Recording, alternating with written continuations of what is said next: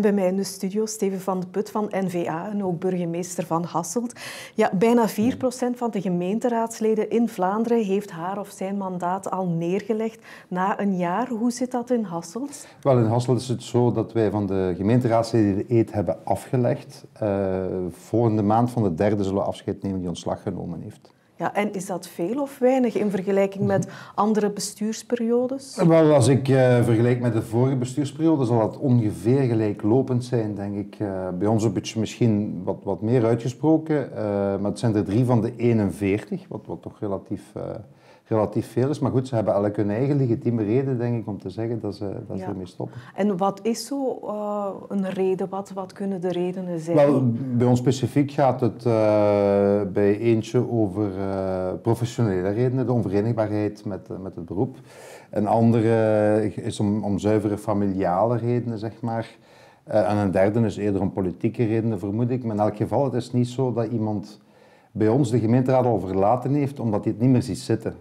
Hetgeen wat geïnsinueerd zou kunnen worden, is mensen zijn helemaal teleurgesteld. Ik denk degenen die verkozen zijn, uh, dat die in eerste instantie nog willen uitproberen van is het voldoende voor mij of niet. Ja.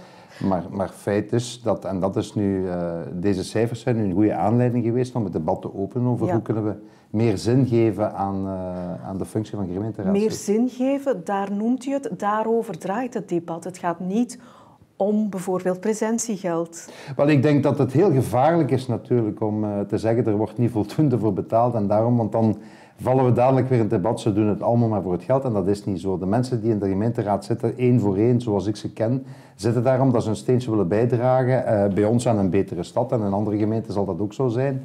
Uh, ik denk dat het vaak zo is dat mensen zich misschien een verkeerd beeld hebben gevormd of. Het, uh, rooskleurig beeld van wat de gemeenteraad is, de impact die ze werkelijk kunnen hebben. Het kost effectief tijd, moeite, inzet, studiewerk, dossieropbouw om dingen te kunnen veranderen in de gemeenteraad. Ja, want het vraagt veel tijd. Overdag hebben ze dan nog een job. En uh, één op drie gemeenteraadsleden um, ja, werkt meer dan 10 uur per week, 9% meer dan 20 uur per week daar komt heel veel bij kijken en ze zijn daar misschien niet altijd is, op voorbereid. Het is de vraag in, welke mate natuurlijk je het werk voor de gemeenteraad in de breedte bekijkt. Als het gaat over inderdaad het contact hebben met burgers, ze dan bezig zijn op uh, evenementen, recepties, uh, praatavonden, noem maar op, allerhande.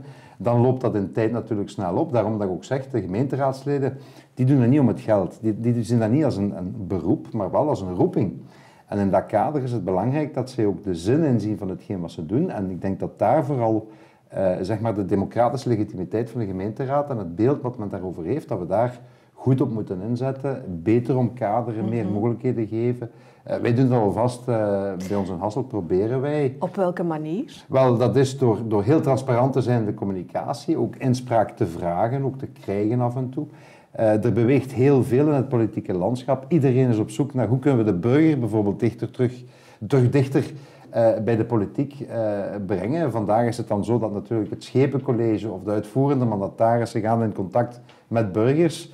En ook de gemeenteraad moet daar terug een beetje naar weg in vinden om ook daar uh, er steentje kunnen bij te dragen. Want daar zijn ze juist eigenlijk voor verkozen. Ja, maar betere omkadering, zegt u. Ik hoorde u in de commissie ook zeggen, ja, mensen weten vaak niet waar ze aan beginnen. Ze zouden eigenlijk begeleid moeten worden of ingeleid, ingedood. Wel, ik denk, de minister heeft ook geantwoord dat dat natuurlijk een gedeelde verantwoordelijkheid is, ook van de politieke partijen, van het bestuur en ook van het, van het middenveld, zeg maar, van de verenigingen die, die gemeenteraden ondersteunen. Ik denk dat heel veel gemeenteraadsleden, bijvoorbeeld de, de, discussie over de begroting, gaat dan heel veel mensen voorbij, omdat het zodanig technisch en moeilijk is, mhm. dat ze het gewoon niet kennen. En dat kost ook tijd om zoiets te leren kennen. En... Moeten gemeenteraadsleden bijvoorbeeld fractiemedewerkers hebben of meer fractiemedewerkers? Wel, uh, ik denk dat er dat, maar dat is natuurlijk de lokale autonomie. Op welke manier worden gemeenteraadsleden uh, omkaderd? Dat kan gaan in het aanbieden van bijvoorbeeld cursussen. Dat kan, aan, dat kan zijn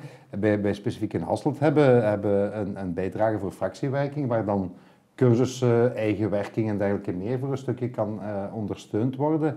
Uh, ik denk in elk geval dat dat heel veel zit in het stukje educatie, uh, opleiding van gemeenteraadsleden, dat zij ook het proces kennen waar zij deel van uitmaken. Vaak passeerderpunten in de gemeenteraad, Waar je soms inderdaad de vraag kan stellen, weet een gemeenteraadslid hier eigenlijk welke inbreng je kan hebben of niet? Ja, en het gaat ook over dossierkennis dan. Hè?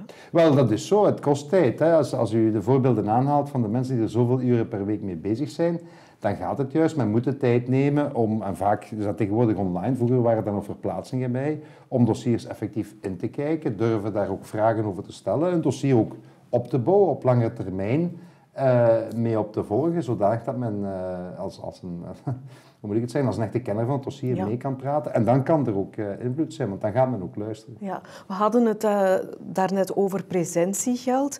Uh, er is een maximum van 213 euro bruto. Hoeveel is dat in Hasselt? Hoeveel in Hasselt is dat traditioneel altijd het maximum geweest. Dat is ah, geen, ja. Maar dat is een keuze die heel lang geleden gemaakt geweest is. Is ook zo dat in Hasselt de keuze is gemaakt om uh, eigenlijk maar één bijkomende commissie te hebben die vergoed is. Andere gemeenten doen dat op een andere manier. Ik denk dat de vergoeding vandaag billig is. Er zullen altijd mensen zijn van wie ik kan zeggen, doen die wel voldoende voor hetgeen wat ze krijgen. Zijn er anderen die zijn, uh, die zijn onderbetaald. Maar ik denk dat het gaat niet over, over de vergoeding. Het, is een passie en roeping, hoorde ik ook wel, zeggen. Ik denk, ik denk dat dat essentieel is. Uh, het, het, op, zeker op het lokale niveau gaat het over mensen die betrokken zijn in een gemeenschap en daar op politiek niveau een zekere uiting aan willen geven. En dat kunnen ze in de gemeente. Maar die 213 is dan maal 41 raadsleden. Um, hè, want 41 raadsleden zijn er in de gemeenteraad. Als, als, men present is, krijgt men presentie. Ja. Um, zou, zou het een idee zijn om het met... Wat vindt u van uh, het met minder gemeenteraadsleden te doen, die dan misschien iets meer... Wel, het risico, het, het, risico wat we, wat we lopen als we dat soort... Uh, vragen beginnen te stellen. Of, ik bedoel, Want Hasselt elk debat is, voor mij mogelijk. Hasselt, is, Hasselt heeft uh, 78.000 inwoners ja. ongeveer, centrumstad. Uh, en heeft dus wettelijk 41 gemeenteraadsleden. En het Schepencollege zoals het is samengesteld, het college van burgemeester en schepenen.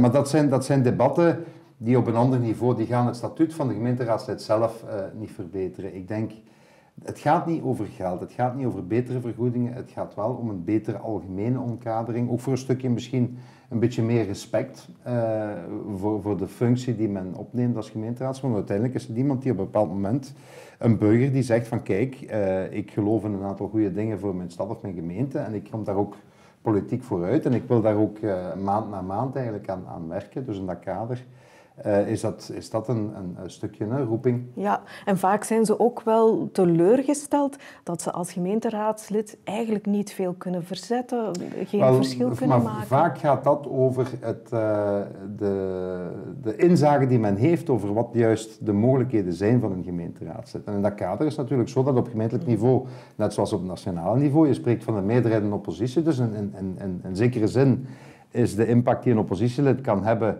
eerder beperkt, maar dat is op het nationaal niveau ook zo. Een positielid heeft dan wel natuurlijk een veel grotere mogelijkheid, of, of anderen ook natuurlijk, uh, om de controlerende taak op het, op het uitvoerende bestuur, op het college van burgemeester en schepen uit te voeren. Kan ook voorstellen doen en, en soms worden zo voorstellen aanvaard, soms ook niet.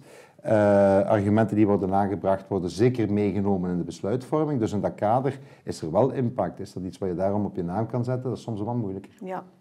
Uh, minister Somers heeft geopperd om de VVSG uit te nodigen uh, in het Vlaams parlement, had ik begrepen. Um, goed idee? Wel, zeker. Allee, ik denk de VVSG is uh, de organisatie die contact heeft met lokale besturen en ook lokale mandatarissen. Doet ook, heeft ook een heel pakket aan, aan vormingen en dergelijke meer voor lokale mandatarissen. Zijn dus kenner ter zake, hebben ook een, een aanloop naar de gemeenteraadsverkiezing van 2018 een vrij diepgaand onderzoek gedaan over wat beweegt eigenlijk een, een gemeenteraadslid. En daaruit bleek overduidelijk dat de meeste aangeven dat als waar we werk van moeten maken, dat dat juist is. Het, de wijze waarop uh, mensen meer impact kunnen hebben in die gemeenteraad en ook een betere omkadering algemeen. Oké, dat is duidelijk. Dank wel, Steven van de Put.